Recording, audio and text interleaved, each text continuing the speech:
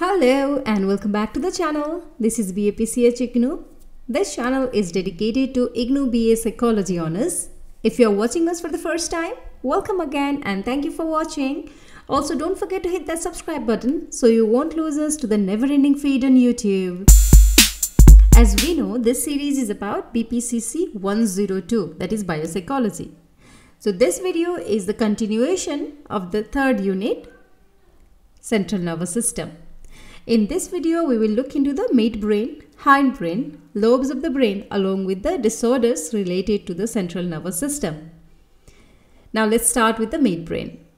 The midbrain, also called the mesencephalon, is the middle part of the brain. It has two parts, tectum and tegmentum. The midbrain helps transmit messages between itself and the cerebrum. So let's look into the tectum first.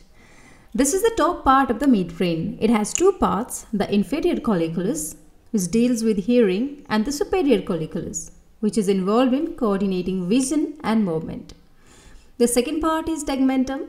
It is found in the middle of the brain and it contains parts of reticular formation.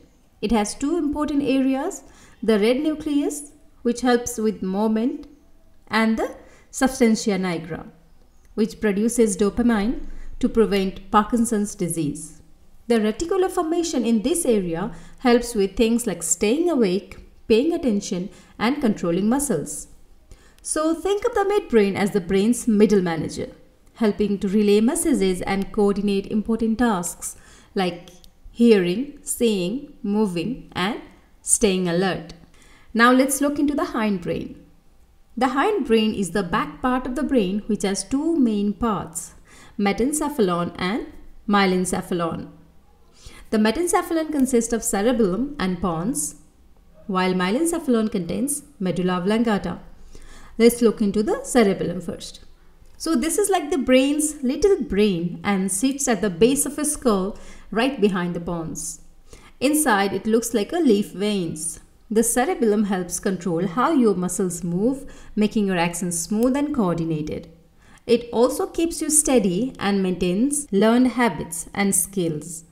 If this gets hurt or damaged, you might have trouble moving smoothly, your balance could be off, and you might even experience issues like tremors or unstable walking. The second part is pons. The word pons means bridge, literally, and that's what it does. It's like a bridge connecting the cerebellum and the upper brain parts.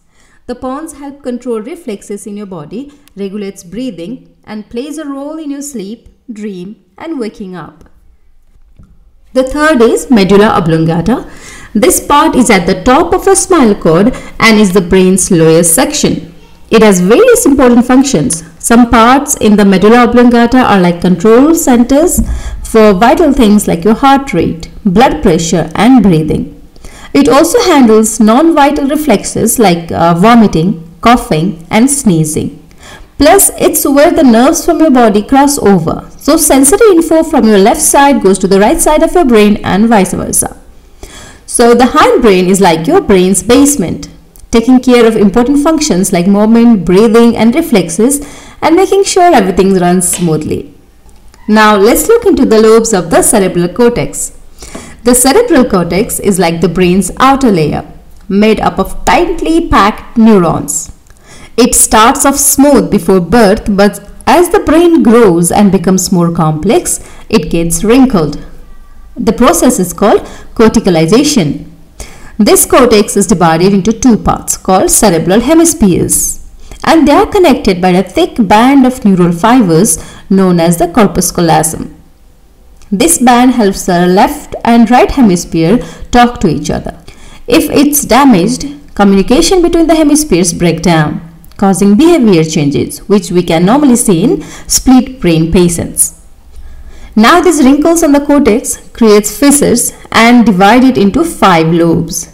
They are frontal lobe, temporal lobe, parietal lobe, occipital lobe and the hidden insula. Now let's look at the frontal lobe. These lobes are at the front of your brain. The very front part is called the prefrontal cortex, which handles sensory info and links it with other brain areas. Frontal lobes are in charge of your body's movement, both big and small, like wiggling a finger. The precentral gyrus in this lobe controls motor function. The frontal lobes also deal with higher level stuff like complex thinking, decision making and emotions, thanks to the connection to the limbic system. Plus, in most cases, the left frontal lobe helps with languages, specifically Broca's area. Do you remember Broca's area? The one we discussed in our first video? If something happens to Broca's area, it can lead to speech and fluency problem, known as Broca's aphasia. The second is temporal lobe. It's like the brain's sidekick, found on the sides of your head near your temples. It is separated from the other lobes by a groove called lateral sulcus. Inside there's a part called transverse gyrus that's all about hearing and language processing. The temporal lobe also handles seeing, understanding movement, recognizing faces and dealing with emotions. If something goes wrong in this lobe, it might lead to hallucination, both in hearing and seeing. Okay. In the left temporal lobe, there is a Wernicke's area, which helps you understand speech. If it's damaged, a person might speak fluently, but what they say won't make sense, and they won't understand others. Now let's look into the parietal lobes. They are like the brain's touch center, found at the top and back of each hemispheres. They are in charge of sensing touch and getting info from muscle stretch receptors. This touch info helps us make sense of what we see and hear. The other is occipital lobes. These are at the back and base of your brain and handle everything you see. They are your visual processors. Damage here can cause vision problem like seeing flashes of lights, hallucinations or not recognizing visual things. Now the final one is the insula. The insula is a hidden lobe under the temporal one. It's vital for vision and damage can lead to blindness.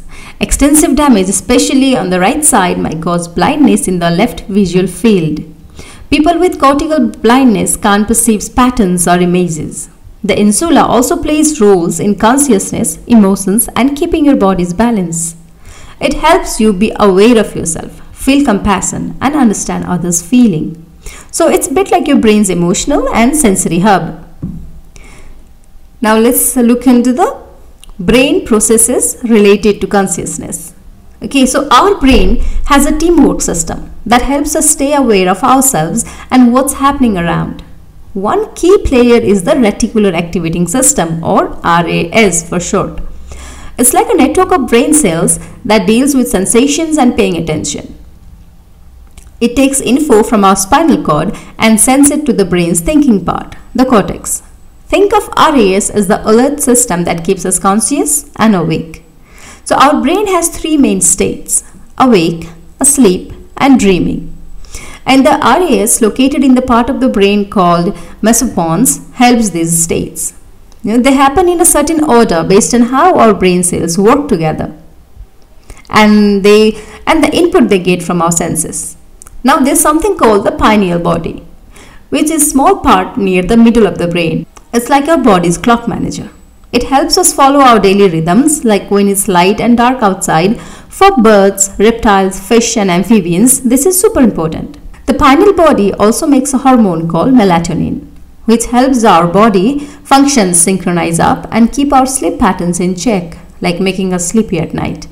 So think of the brain as a team, okay, with the RAS at the alert system and the pineal body as a clock manager. And they all work together to keep us aware and on schedule. Now let's look at the disorders of the central nervous system. We'll first discuss the Alzheimer's disease.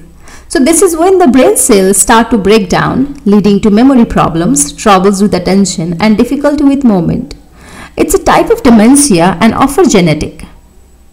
People with Alzheimer's may forget names, faces and struggle with basic daily tasks. Second is Parkinson's disease. This one affects how a person moves and it's more common in older folks. A common sign is shaking when not moving. It can also cause problems with thinking. Third is stroke. Sometimes an injury or a disease can harm parts of the brain that control movement. Strokes can happen because of bleeding or lack of blood supply to the brain. This can lead to paralysis, memory problem, and even trouble speaking. Fourth is multiple sclerosis. MS is a disease where the body's immune system attacks the protective coating around the nerve fibers in the brain and spinal cord. It often starts when people are young and can cause vision issues, muscle weakness, and problems with coordination. The fifth is cerebral palsy. This happens in childhood when something damages the brain, like an infection or lack of oxygen during birth. It can make it hard to control muscles and can affect one side of the body. Sixth is seizure disorder. This makes the brain suddenly act differently, like causing someone to lose consciousness, shake, or have muscle spasms. Epilepsy is one type, but it can be managed with medications. The seventh is amnesia. This is when you lose a big chunk of your memory, but your other brain functions still work. It can happen due to infections, injuries, or diseases like Alzheimer's. There are two types one where you can't remember things after the damage, anterograde, and one where you forget stuff just before the damage, retrograde. These disorders affect how our brain works, and they can have various causes and symptoms. It's essential to understand them to provide proper care and support to those who may be dealing with these conditions. So that's the end of this video. Let's recap quickly the topics we covered today. The midbrain, hindbrain, lobes and the disorders. Yes. So the next video will be on the fourth unit. Thank you for watching. I hope you liked the video. If you have any doubts and feedback, please drop them on the comment box below or DM us in any given social media account. Please don't forget to hit that like and subscribe button for more content. Follow us on Instagram for quick notes and updates and join the discussion on Telegram for all your questions. Links are down below in description. See you in next video. Until then, stay curious, stay engaged and remember, you got this.